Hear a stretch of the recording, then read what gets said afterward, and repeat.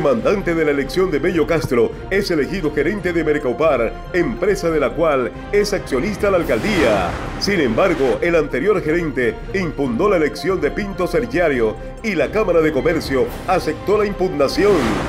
Trabajadores del Hospital Rosario Bomarejo de López realizaron nueva jornada de protesta. Con mesas de seguridad en las comunas de Valledupar, buscan mejorar la seguridad ciudadana designado Luis Guerra Orozco como presidente del Cuarto Congreso Nacional e Internacional de Medicina Interna. En tres municipios del Cesar, Mintit instalará seis zonas digitales de conectividad gratuita a Internet. Continúa protesta de la comunidad indígena Chisquinguinya. Captura a 12 personas que realizaban apuestas en línea de manera ilegal el representante Ape Cuello anunció que consiguió aprobación de 35 mil millones de pesos para construir complejo deportivo en la UPC. Villazón estrena canción que es un lamento que retrata situación de los músicos vallenatos. Avanzan a buen ritmo los trabajos de construcción del Estadio Atletismo de Valledupar. Valledupar Fútbol Club jugará este sábado ante Tigres en calidad de visitante. Suscríbete a nuestro canal de YouTube. Somos RTA Noticias. La respuesta. Hola, ¿qué tal? Noche de viernes. Bienvenidos a las informaciones aquí en RTA Noticias. Ya estamos listos para presentarles los hechos más importantes de hoy en este departamento y en nuestro país. Gracias a quienes se conectan a través del canal 12 y en nuestras plataformas digitales. Un caso verdaderamente de replay es lo que se ha registrado en Mercaupar. Resulta que el alcalde Mello Castro González eligió allí como gerente para esa empresa que maneja el mercado público de Valledupar al hombre que en enero le puso una demanda a su elección popular. Bienvenidos y muy buenas noches. Jair Gregorio Pinto Sergiario, hombre de confianza del senador José Alfredo Géneco y del alcalde Mello Castro González, fue nombrado la semana pasada como gerente de Mercaupara, la empresa operadora del mercado público de Valledupar. Pinto Sergiario, conocido como Tony Pinto, es el mismo sujeto que en enero de 2020, junto a Laura Beatriz González Oviedo, demandó la elección del alcalde Mello Castro González. Aunque usted no lo crea, The Replay era una sección en los medios impresos del mundo que mostraba cosas tan raras como esta de Tony Pinto y Mello Castro. Lo que le han dicho a RTA Noticias es que Jair o Tony Pinto, como se llame, es de los aposentos de Mello Castro González y tiene el respaldo absoluto del senador José Alfredo Geneco Zuleta, por lo que cabe la pregunta, ¿qué pasó aquí? Una de dos, la demanda de Pinto Serchario es una autodemanda de Mello Castro o Tony estaba presionando a Castro González para que le diera participación en política, hecho que se cae por su propio peso si es sabido que José Alfredo promovió, apoyó y ayudó a elegir a Mello Castro y es el jefe político de Tony. Jair Gregorio Pinto Sergiario fue elegido gerente de Mercaupar aparentemente sin cumplir con los requisitos necesarios para su elección. RTA Noticias también supo que al elegido gerente no lo quieren en el mercado público porque no es comerciante ni mucho menos goza del afecto de los comerciantes y es por ello, entre otras cosas, que su elección fue impugnada por el actual gerente Giovanni Santana. Primero porque los comerciantes no lo conocen. Segundo, él no hace parte de los comerciantes dentro de la plaza, no conoce la problemática de, del mercado. Y tercero, que eso ya se volvió como un tinte político para el mercado, que es lo que no queremos, que es lo que le sucedió a la Universidad Popular de Cesar. Santana asegura que sigue siendo el gerente hasta tanto la Superintendencia de Industria y Comercio resuelva el entuerto que ahora hay en la administración del mercado público de Valledupar. La impugnación ya fue recibida por el presidente de la Cámara de Comercio de Valledupar, revisada, resuelta y enviada a la superintendencia para que dirima en última instancia la situación. Para que sea Bogotá que resuelva ese recurso, sea a favor mío como gerente actual o ratifica al nombramiento del gerente Tony Pinto. Ello significa que Tony Pinto no llegará por ahora a la gerencia de Mercaupar porque el trámite ante la superintendencia podría durar unos 60 días como plazo máximo. RTA Noticias intentó preguntarle al alcalde Mello Castro González sobre esta situación, pero no contestó su teléfono celular tras varias llamadas, mientras que a Pinto Sarchario no fue posible localizarlo. Mercaupar es una sociedad de economía mixta en donde la cooperativa Comerva es dueña del 60% de las acciones y la alcaldía de Valledupar tiene el 40% restante. En la junta directiva, la alcaldía tiene dos votos y Comerva tres votos. Saludo a esta hora a Andrea Rodríguez, quien ya está con nosotros en directo desde su residencia. Andrea, buenas noches y bienvenida. Ubaldo, muy buenas noches y una feliz noche de viernes para todos nuestros televidentes. La policía del Cesar realizó operativos que permitieron la captura de varias personas que aparentemente realizaban juegos y apuestas de manera ilegal en el departamento por el delito de ejercicio ilícito de actividad monopolista de arbitrio rentístico. 12 personas fueron capturadas por la SIGIN en conjunto con el grupo de reacción y el SMAD. Se capturaron 12 personas dedicadas a la explotación del juego ilegal novedoso llamado Keno.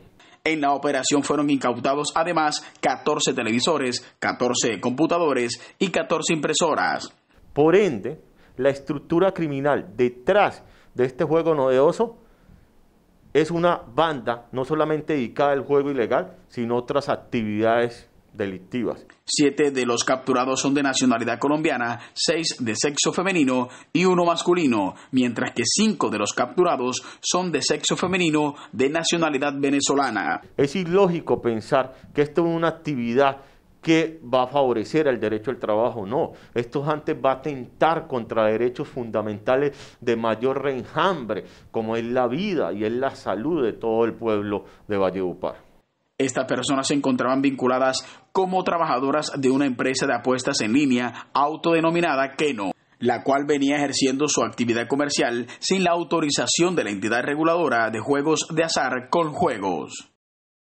El turno es para Eduardo Retamoso Polo, que está hoy con nosotros en los estudios de RTA Noticias. Eduardo, qué gusto tenerlo por aquí. Buenas noches. Hola Ubaldo, ¿qué tal? Buenas noches. Un saludo muy especial a usted y a todos nuestros televidentes, informando desde estudios centrales de RTA Noticias.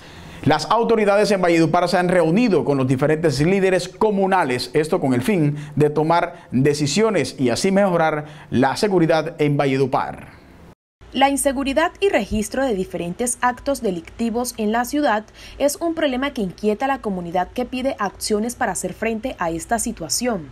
Buscando alternativas, se iniciaron las mesas de seguridad en la Comuna 1 de Valledupar, una estrategia que tiene como propósito de definir y emprender acciones que fortalezcan la seguridad de los ciudadanos. Nos quedamos un poco satisfechos nosotros los presidentes de que hoy nos hemos sentado con el secretario de Gobierno y las autoridades la Secretaría de Gobierno Municipal y la Fuerza Pública iniciaron dichas mesas de seguridad en el casco urbano de Valledupar y anunciaron que llegarán a todas las comunas de la ciudad. Estos son eh, las mesas de trabajo que dan el mayor resultado para las comunidades que hoy venimos trabajando en la Comuna 1. Iniciamos con la Comuna 1 donde se efectuó diálogo franco, sincero y generador de responsabilidades y compromisos.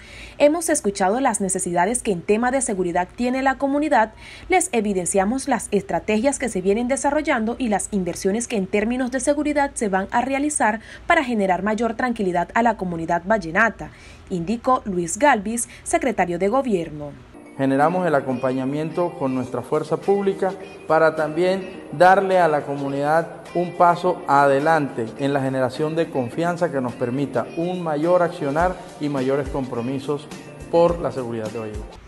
Presidentes de Junta de Acción Comunal hicieron presencia y aprovecharon el momento para exponer las necesidades en materia de seguridad de cada uno de los barrios que representan requieren mayor presencia de uniformados de la policía y elementos tecnológicos como cámaras de seguridad. Por su parte, el comandante del Distrito 1 de la Policía en el Cesar, capitán Cristian Niño, resaltó que actualmente disponen de 26 cuadrantes durante las 24 horas que prestan el servicio de vigilancia en toda la ciudad, principalmente combatiendo la delincuencia. El personal de Valledupar visitó el sitio de la protesta de los indígenas cancuamos que exigen la aprobación del resguardo Chiscuinya para conocer sus reclamaciones. Los miembros de la comunidad indígena Chiscuinya siguen apostados a un lado de la vía que comunica a Valledupar con el departamento de La Guajira en inmediaciones del corregimiento de Río Seco aseguran que permanecerán en ese sitio hasta que el gobierno nacional y la alcaldía cumplan sus dos principales peticiones. Nuestras dos peticiones que venimos haciendo hace dos años son sencillas, como es la posesión de nuestro cabildo gobernador por intermedio del señor alcalde de Valledupar, porque cumplimos todos los requisitos, tanto eh, ancestrales como de la jurisdicción ordinaria. En las últimas horas se reunieron con el personero de Valledupar, Silvio Cuello, a quien le solicitaron apoyo como enlace ante las autoridades. Y la segunda petición es que la Dirección de Asuntos Indígenas, también cumpliendo todos los requisitos de ley, su circular y la ley 89, nos expida luego el registro del el Cabildo Indígena de Chiscuinya. Esta comunidad llegó al sitio desde el pasado martes, cerraron por espacio de cuatro horas la vía nacional, después decidieron desbloquearla, pero se quedaron en el sitio presionando por la solución a sus peticiones. A esta hora tengo un invitado muy especial para conversar sobre un tema que tiene que ver con los alimentos que se entregan a las personas con escasos recursos económicos. El Banco de Alimentos de la Pastoral Social y de la Diócesis de Valledupar. Hola, buenas noches y bienvenido. Muy buenas noches. Una noticia muy importante. Primero, que hacemos parte del Banco de Alimentos de la Diócesis de Valledupar, que ha sido una creación que Monseñor eh, ha, erigido este año. Y la segunda es que hacemos parte de la Asociación de Bancos de Alimentos de Colombia, con el cual han llegado demasiadas ayudas aquí a Valledupar y a toda la diócesis. Mercados, eh, donaciones de Postobón, de Grupo Sura y muchas empresas más que en este tiempo de pandemia nos han ayudado a llegar a personas necesitadas de aquí de Valledupar y de toda la diócesis. Es un gusto tenerlo aquí en nuestros estudios y cuéntenos quiénes son los beneficiarios de este Banco de Alimentos aquí en Valledupar y cómo se pueden precisamente desarrollar estos apoyos a favor del Banco de Alimentos. Bueno, en primer momento lo que hacemos es un proceso de clasificación, porque no todos los alimentos están en calidad para llegar a las personas más necesitadas. Después que las clasificamos, armamos unos paquetes nutricionales para llevar a esas personas necesitadas por medio de las parroquias o algunas fundaciones que se han unado al Banco de Alimentos de la Diócesis para hacer llegar estos alimentos en muy buenas condiciones. Quienes deseen apoyar, ¿dónde deben encontrar información sobre el Banco de Alimentos? Cuéntenos detalles de esto. Bueno, en estos momentos nos encontramos en la Jornada Mundial de los Alimentos. La Asociación de Bancos de Alimentos de Colombia se ha iniciado una campaña de donaciones por, los por medio de redes sociales, a donde encontrarán un link para que puedan hacer donaciones. Pueden hacer donaciones puntuales o pueden eh, programar donaciones mensuales, que todos los meses puedan hacer unas donaciones automáticas y poder eh, seguir ayudando a todas las personas, porque estamos en pandemias en estos momentos pero el hambre en las personas necesitadas siempre está. Bueno, muchísimas gracias por estar aquí en RTA Noticias y que tengan muy buenas noches. Gracias a ustedes por este espacio y que todas las personas nos ayuden a seguir ayudando a los demás, a las personas necesitadas por medio de donaciones. En caso tal de que no puedan hacer donaciones en efectivo o en dinero, también recibimos especies. Las llevan a las parroquias más cercanas y ellos se encargarán de hacernoslas llegar aquí al Banco de Alimentos. Un fuerte abrazo para todos.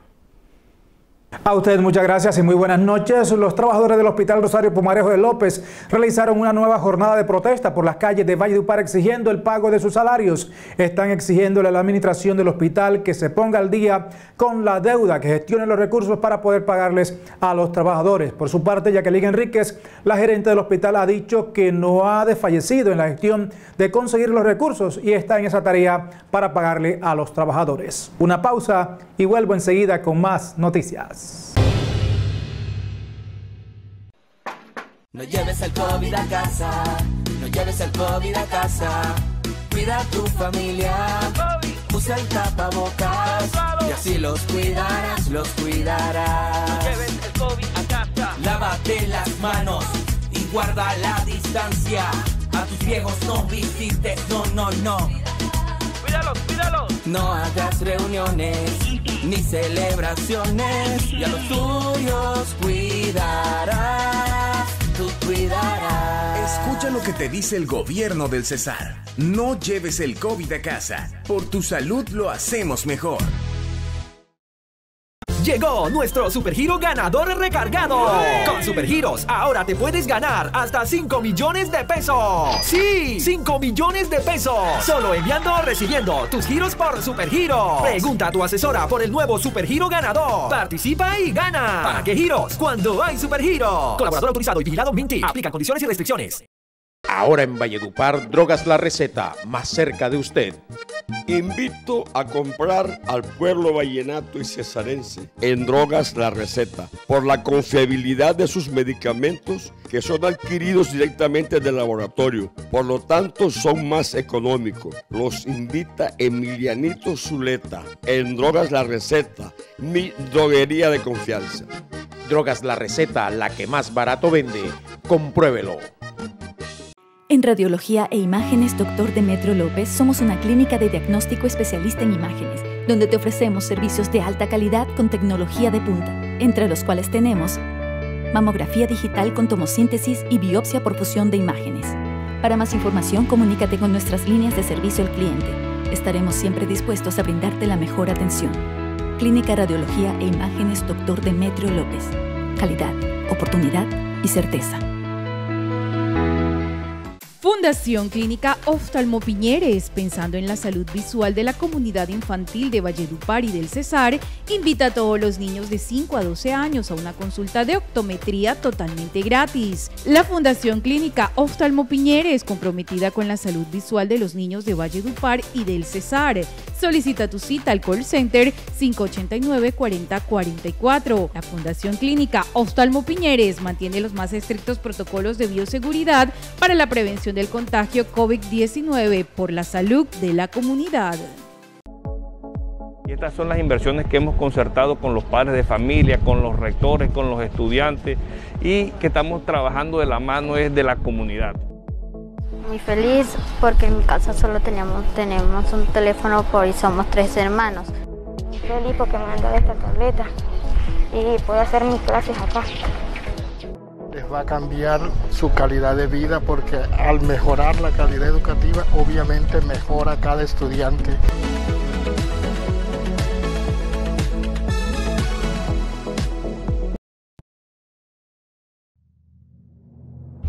Albert, Landy, María Ángel, Eduardo, Jaime, Madi, Adriana, Freddy, Lorena, Iván, Dayanis. Todos ellos y muchos más hacen parte del equipo de héroes de Supermercados Mi Futuro. Con su valentía y esfuerzo, abastecen a cientos de personas diariamente a pesar de las adversidades. Ellos son el motor que lleva la esperanza de un mejor mañana. Hoy, Valledupar y Supermercados Mi Futuro, les decimos gracias. Muchas gracias. Estamos cumpliendo, eh, celebramos la llegada de la personería, de común acuerdo eh, establecimos lugar y hora de la visita, creemos que estamos para garantizar los derechos humanos de cada uno de los trabajadores. Venimos a ver las condiciones en las que está trabajando en Dupar, cómo está distribuido el tema de los protocolos de bioseguridad, nos pudimos eh, cerciorar como está en las imágenes que nosotros vimos al ingreso, eh, la aplicación total y completa de los protocolos de bioseguridad que dice las normas para autorización del ingreso del personal.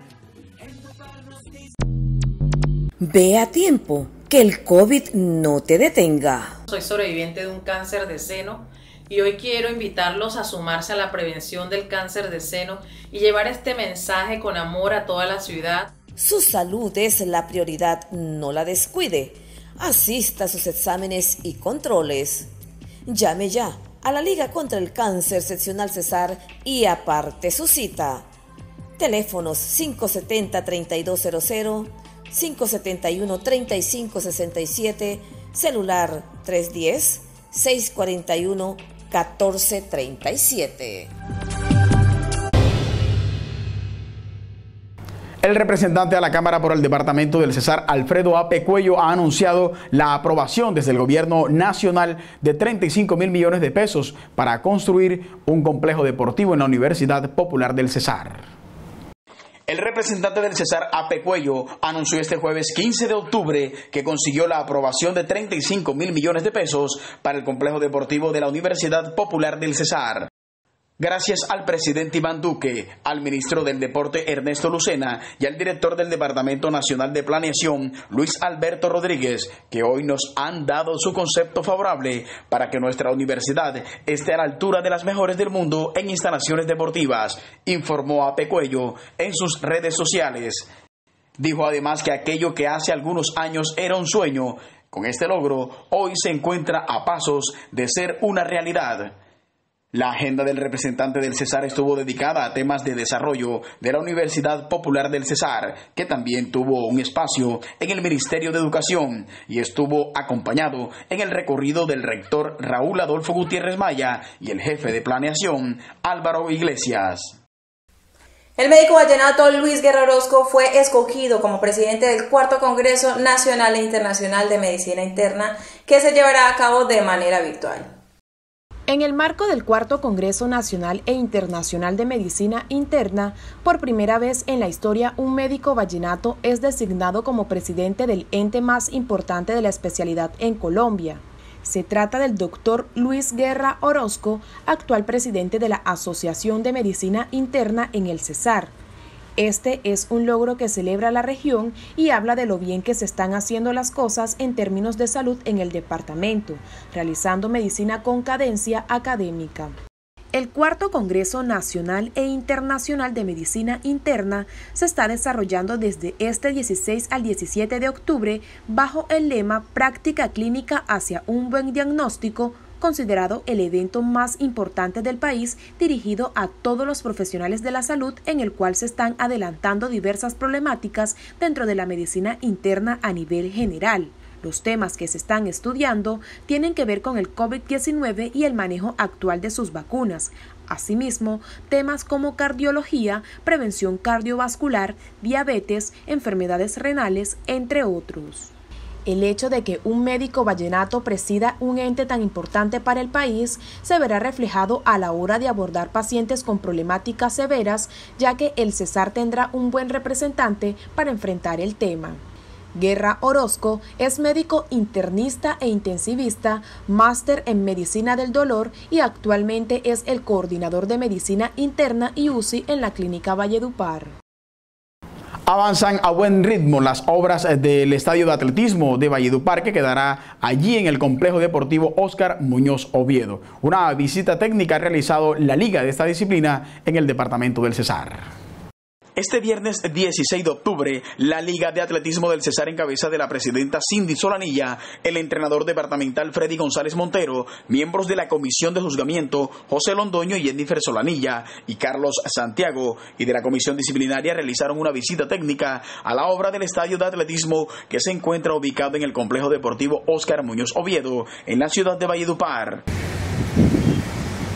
De acuerdo con el arquitecto Reinel Cartagena, manifiesta que solo falta aplicar la última capa asfáltica a la pista para luego acordar con la firma Mondo encargada del sintético la fecha para el inicio de la instalación del material.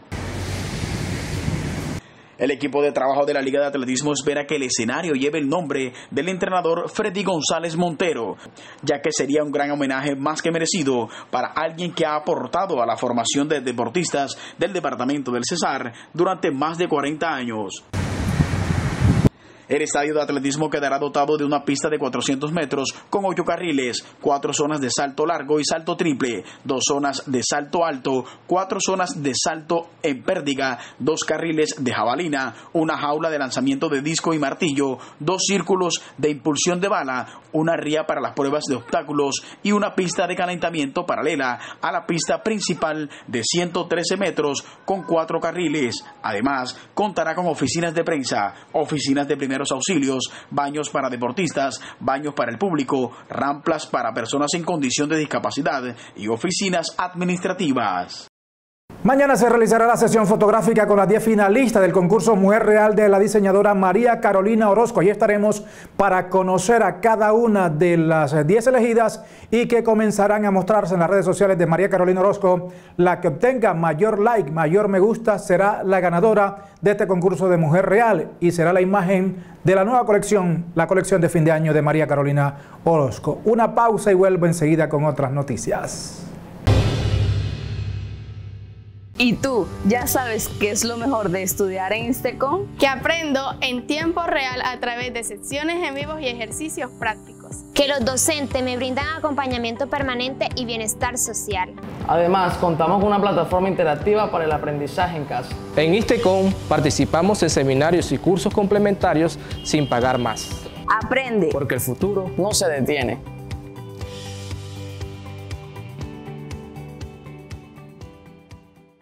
Ahora en Valledupar, Drogas La Receta, más cerca de usted.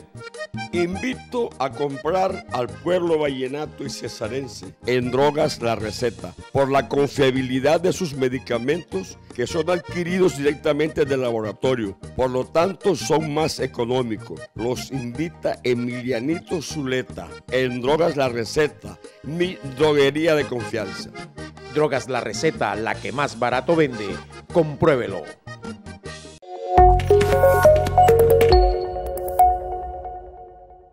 Corpocesar asumimos con amor el compromiso con nuestro medio ambiente.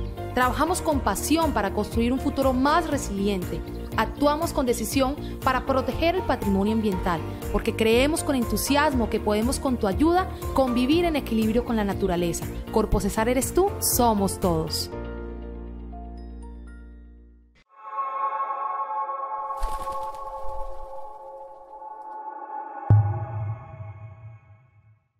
¿Estás embarazada?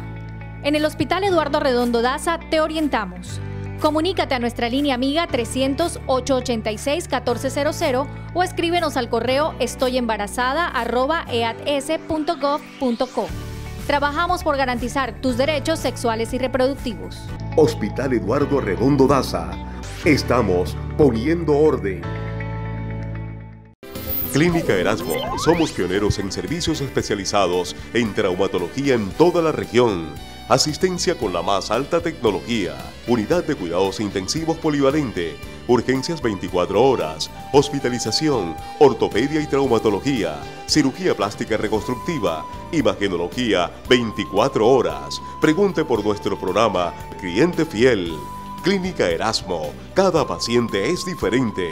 Nuestra clínica también. Constructora Carvajal y Soto entregará próximamente las dos primeras torres del moderno edificio Las Cayenas, ubicado en la zona de mayor desarrollo urbanístico de la ciudad. Las Cayenas, un edificio progresivamente inteligente, con cuatro torres, amplios espacios y acabados espectaculares. Te mereces lo mejor. Te mereces vivir en Las Camelias, el nuevo proyecto urbanístico de Carvajal y Soto. 33 espectaculares apartamentos para vivir bien. Otro proyecto exitoso de constructora Carvajal y Soto. Todas las delicias del guineo verde las tiene Guineo Fex. Pide el tuyo como quieras. Llama ahora y prueba uno. Guineo Fex. Una deliciosa experiencia cada día. Guineo Fex los originales. Llegó nuestro supergiro ganador recargado. Con supergiros, ahora te puedes ganar hasta 5 millones de pesos. Sí, 5 millones de pesos. Solo enviando o recibiendo tus giros por supergiro. Pregunta a tu asesora por el nuevo supergiro ganador. Participa y gana. ¿Para qué giros? Cuando hay supergiro. Colaborador autorizado y vigilado Minty. Aplican condiciones y restricciones. Olímpica Estéreo la emisora más escuchada de Colombia. Aquí estamos de vuelta con las informaciones en RTA Noticias. Les cuento que Iván Villazón está estrenando canción, una canción que se llama Obras son Amores de Fren Calderón, que es una radiografía de la situación que han vivido y que incluso viven muchos de los músicos vallenatos. Efren Calderón, uno de los grandes compositores del género vallenato, plasmó las letras de Obras son Amores, la canción que grabó Iván Villazón con el acordeón de Manuel Julián Martínez y que se ha convertido en un himno que reclama por el olvido en que murieron o están sumidos los grandes del vallenato. Que yo le contara algunas memorias de mi región Obras son amores es una conversación del compositor con Leandro Díaz, otro grande del vallenato, y relata las situaciones que viven o vivieron antes de morir los músicos del vallenato. Buenos días, dije a Leandro Díaz en una ocasión. La canción comienza recordando a Carlos Huertas, un gran guitarrista y quien falleció hace muchos años. De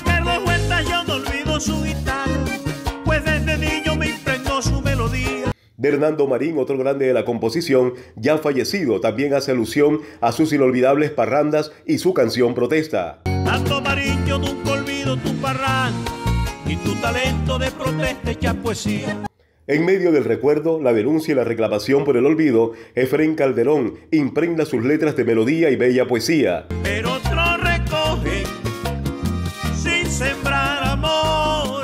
Enseguida aparece en la escena musical otro guajiro acordeonero, él, Juancho Royce, inolvidable pareja de Diomedes Díaz.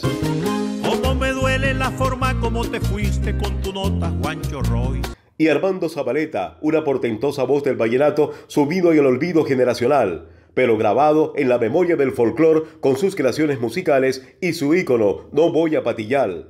Como lamento que ahora Armando Zabaleta se muera de la tristeza cuando escuche esta canción. La inspiración de Fren Calderón nos lleva por los recuerdos de Máximo Móvil, conocido como el Indio de Oro, por sus bellas composiciones.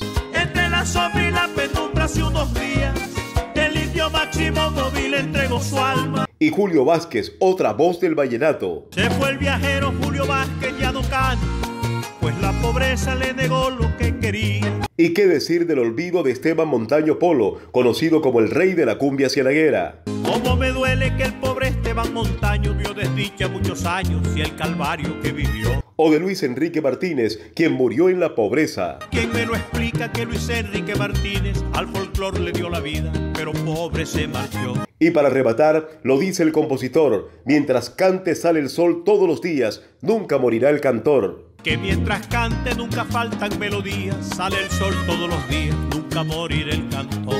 Obras son amores, una composición con el sello característico de Fren Calderón que pone de presente que si es posible hacer verdaderas composiciones vallenatas e Iván Villazón ratifica que es la auténtica voz del tenor vallenato.